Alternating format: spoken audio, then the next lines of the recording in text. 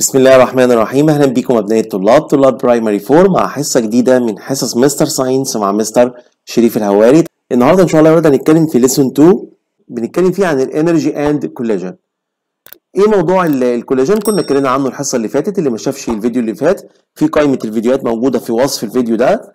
نقدر نطلع القائمة بالكامل ونشوف الفيديوهات بتاعتنا كمان. آه هنا نتكلم يا عن ال energy and collision هل في علاقة ما بين الطاقة والتصادم؟ أكيد قلناها برضو في الفيديو اللي فات على فكرة بس هنتكلم عنها النهارده باستفاضة شوية. آه بيقول لك look at the picture then put right or wrong. أول سؤال يا ولاد بيقول لك during collision between two objects there is no change of energy occurs تعالى كده للجملة دي تعالى بيقول لك لما جسمين يصطدموا ببعض مفيش أي تغيير للإنرجي مفيش أي انتقال للإنرجي ما بينهم. طبعا الكلام ده wrong. Number two, the motorcycle has a potential energy as it running on the street. تعالى كده تعالى وإحنا قلنا الكلام ده وإحنا قلنا لو انت بتجري على الطريق يبقى انت فيك potential ولا kinetic برافو عليك واكيد دي wrong والصح بتاعها kinetic energy not potential energy Number three, the kinetic energy of the motorcycle transfer to the ice cream cart during collision. طبعا اثناء التصادم لو الموتوسيكل ده خبط في ال ice cream car دي هل ال energy ال kinetic energy اللي كانت في ال motorcycle دي تتنقل لل ice cream؟ طبعا يا مستر ده كل اللي عليها هيقع في الأرض وهي تقع في الأرض. يبقى صح. يا رب يكون فهمنا الثلاث أسئلة دول. تعال بقى نشوف ال energy and collision when two objects bump or crash with each other يعني لو في جسمين اصطدموا ببعض we can say a collision happened between them. هنقدر نقول إن في تصادم حصل ما بينهم. طب what is meant by collision يعني إيه تصادم يا ولاد؟ طبعا بالنسبة لل definitions أنا مش هقول لك احفظه بس هو انت ممكن لو جالك scientific term هتعمل إيه؟ الا لو انت طبعا عارفه كويس. جالك complete تكمله انت. فطبعا لازم الافضل إن إحنا نكون عارفينه كويس. collision يعني إيه يا ولاد collision it is the moment where two objects hit or make contact in a forceful way. يعني إيه يا مستر؟ يعني هي اللحظة اللحظة اللي فيها two objects جسمين hit or make contact. يعني اصطدموا خبطوا في بعض يعني أو make contact يعني التحموا ببعض أو اتصلوا ببعض يعني. In a forceful way يعني بطريقة بقوة يعني. بطريقة قوية بقوة.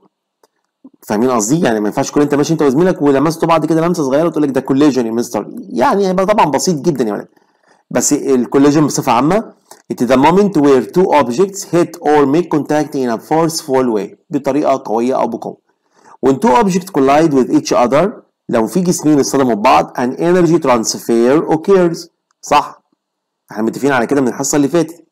أكيد يا مستر لو في جسمين اصطدموا ببعض يحصل transferring لل energy أنا لو مليان شوية وتخين شوية وخبطت في زميلي الصغير الرفيع ده هطيره صح ولا لأ؟ ليه؟ لأن ال energy اللي في جسمي اتنقلت ليه. صح يا ولاد؟ تمام برافو عليكم. يبقى نكمل كده. When two objects collide with each other an energy transfer occurs. أكيد بيحصل انتقال لل energy حد عنده اعتراض في دي؟ لا يا مستر تمام. And also changes of energy occurs. يعني يعني إيه يا مستر مش فاهمين الجملة دي. يعني أكيد بيحصل انتقال للطاقة. وأكيد بيحصل change in energy. يعني البوتنشال لكاينيتيك والكاينيتيك للبوتنشال وهكذا. طب example of collision between two objects. تعالوا نشوف نشوف example. What happen if you are running down the street without looking in the front. انت ماشي في الطريق ومش باصص قدامك. تمام كده؟ And you hit a traffic sign post وطبعا اتخبطت كده في إشارة بتاعت عمود ال ال إشارة المرور أو في أي حاجة في قدامك. إيه اللي يحصل؟ In this situation you will stop moving forward. أول حاجة هنعملها أنا خلاص يا مستر مش هقدر أكمل حركة. يبقى أول حاجة إيه؟ You will stop moving forward. تمام؟ نمبر 2 you may you may bounce off and get hurt. انت طبعا أكيد ممكن كمان ترتد لورا لو قوه التصادم بقى جامده يا ولاد. تبقى صعبة. You may bounce off يعني ترتد. انت خبطت في العمود ده تروح راجع بجسمك لورا من قوة الخبطة. And get hurt يعني طبعا تصاب يحصل لك إصابة. number 3 the traffic sign post may vibrate. يعني ممكن الإشارة دي تقعد تتهز كده رايحة جاية شوية حلوين كده لأنك انت خبطت فيها. صح كده؟ شوف كل ده يعتبر إيه يا ولاد؟ يعتبر transferring لل energy ال energy اللي كانت في جسمك اتنقلت لل sign post ديت إشارة المرور أو الإشارة دي أو الصندوق ده. وطبعا يا ولاد طبعا خليته يتحرك ونقلت له ال energy يلا نكمل. In the previous example في ال example اللي فات what are what are the changes and the transfer of energies that take place تعالوا نشوف. أول حاجة تقول لي يا مستر أكيد وأنا ماشي كان في جسمي في kinetic energy. يلا برافو عليك. يبقى the kinetic energy transfer from your body من جسمك طاقة الحركة اللي كانت في جسمك to the traffic sign post طبعا أكيد لاشاره المرور أو صندوق المرور ده أو إشارة المرور ده. فإيه اللي يحصل؟ This leads to vibration of traffic sign post طبعا هيؤدي إلى اهتزاز ال traffic sign post إيه كمان؟ A part of your kinetic energy change into جزء بقى كمان من ال kinetic energy اللي كانت في جسمك دي مش هتخليها تهتز بس. لا change into sound energy and طبعا آه ممكن نقول حتى heat energy كمان لو عربيتين بيخبطوا في بعض. وتيجي تلمس مكان الصدمة كده تلاقي فيه سخونية فيه حرارة. Sound energy في صوت. صح كده؟ Sound energy that sound you hear on. طبعا الصوت اللي انت هتسمعه نتيجة الخبطة اللي انت اتخبطتها دي. يبقى في transferring لل energy آه في transferring لل energy يا مستر. ال kinetic energy اتنقلت من جسمي وراحت لل sign post ديت وخلتها تتحرك ويحصل لها vibration اهتزاز. طب في change لل energy آه طبعا في change ال kinetic energy change into ال sound اتحولت لصوت سمعناه part منها جزء منها. طب تعالوا نكمل كده ونشوف ال check understanding دي فهمتوها ولا لأ. يلا. عايزين نحط الكلمات دي يا ولاد. bread kinetic collide car هنا الولد دوت راكب ال bike بتاعته وخبط في العربية بتاعت العيش دي. يلا نكمل بقى كده. The bicycle has space energy. العجلة دي كان عندها إيه energy سهلة جدا يا مستر. kinetic energy as it running on the street. طبعا لأنها كانت بتجري على الطريق. طب number 2 when the cycle طبعا إيه؟ With the bread car أكيد لما الولد دوت حصل له إيه يا ولاد؟ collide يا مستر اصطدم. The kinetic energy of the bicycle transfer طاقة الحركة اللي كانت في العجلة دي اللي الواد راكبها مالها transfer to the أكيد يا مستر cart and the bread كمان والخبز. شوف العجلة أو العربية ديت اتحركت من مكانها والعيش اللي عليها وقع على لأن kinetic energy transfer to the cart, cart and the uh, bread that causes طبعا the cart tips over and the bread إيه scatters طبعا العيش انتشر ووقع على الأرض وطبعا العجلة اتحركت من مكانها. يا رب يكون فهمنا كده موضوع transferring ال energy و changing اللي حصل لل energy طيب تعالوا نشوف the effect of speed on collision. هل السرعة تاثر في التصادم؟ من العقل يعني. أيوه يا مستر طبعا. أنا لو كنت بجري بسرعة وخبطت في عمود المرور ده أو اشاره المرور دي أنا كنت زماني دلوقتي. يعني اتعورت جامد. لكن لو الحمد لله أنا كنت ماشي بالراحة شفت السرعة بتأثر إزاي؟ تعالوا نقرأها كده مع بعض. From the previous concept you hear أو you, you have to know uh, or learn that as the incline of the slope increase the speed of the object increase. طبعا فاكرين ال experiment اللي خدناه قبل كده دي؟ في ال concept اللي فات إن كل ما الميل يزيد العربية دي هتتحرك أسرع. صح واقفة على ثلاث كتب هنا هنا كتابين. فين أسرع؟ هنا يا مستر طبعا طيب تعال نشوف بقى. Now we are going to study the effect of speed on collision. The amount of kinetic energy of an object depend on its speed. يعني يا مستر أكيد ال kinetic energy اللي في جسمي بتعتمد على سرعتي، لو أنا بجري بسرعة يبقى أنا عندي kinetic energy كمان قوية جدا. طيب نكمل بقى. As the speed of an object increase كمان the kinetic energy of this object increase. طبعا ماشية يعني هما زي بعض. أنا سرعت يبقى ال kinetic energy اللي في جسمي عالي. أنا في جسمي kinetic energy عالية يبقى أنا أكيد بجري بسرعة. طب تعالى نكمل.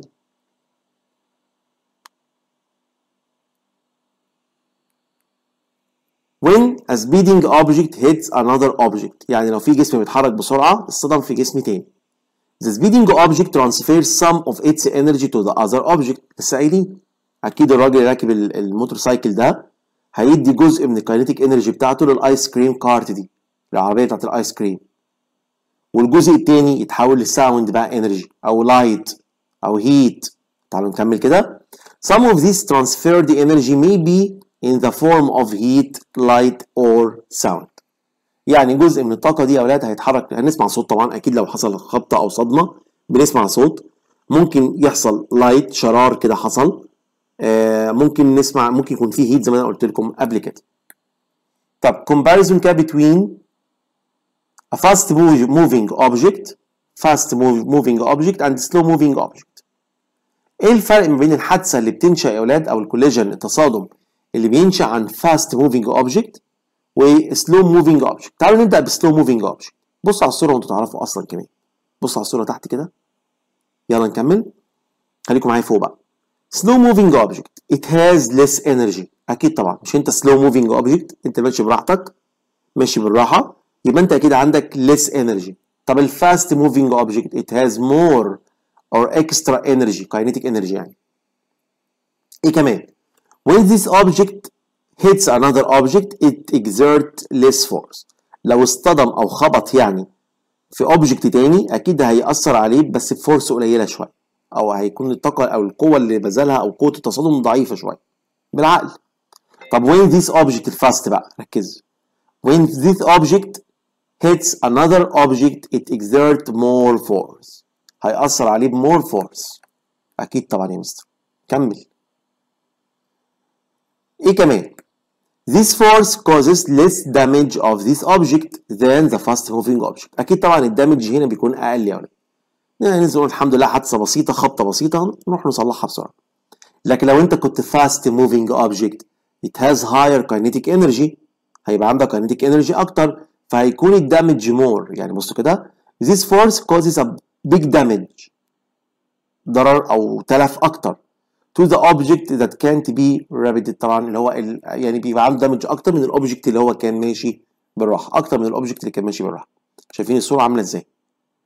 طيب كده الخلاصة إيه يا ولاد؟ في relation ما بين ال speed وال collision آه طبعا يا مستر. لازم نبطئ سرعتنا شوية يا مستر وإحنا ماشيين بالعربية بتاعتنا وبتاعت بابا. تعال نشوف كده. Running fast is very dangerous. يعني تجري بسرعة خطر جدا. Where if a car increases its speed ليه؟ لأن لو العربية زودت سرعتها أكيد its أنتوا هتكملوا السطر اللي جاي؟ its kinetic energy برافو عليكم increase طاقة الحركة اللي فيها تزيد and result to exerting a large force during action. طبعا يكون في قوة أكبر كده أثناء الحادثة. السؤال اللي نشوف السؤالين what happened دول يا ولاد؟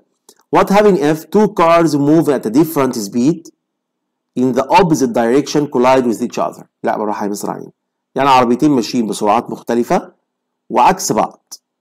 يعني عربية ماشية الناحية دي وعربية ماشية قصادها الناحية التانية جايين في وش بعض يعني in the opposite direction إيه اللي هيحصل؟